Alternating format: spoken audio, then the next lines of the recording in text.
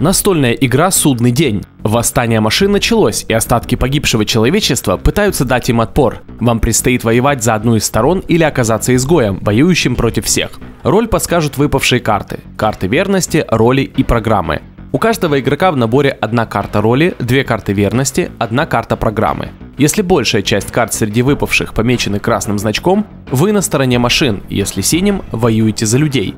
Серый знак означает изгоя, но среди карт ролей, верности и программ есть такие, которые меняют это правило. Например, на некоторых картах роли может быть написано «всегда машина». Это значит, что вы машина, даже если карты верности у вас синие.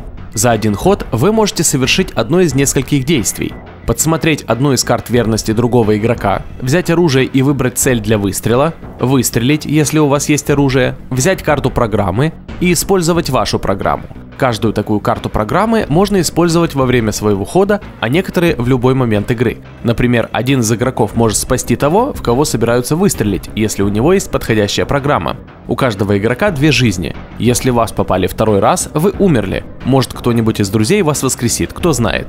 Лгать, блефовать, плести интриги или говорить правду можно. Все ради победы.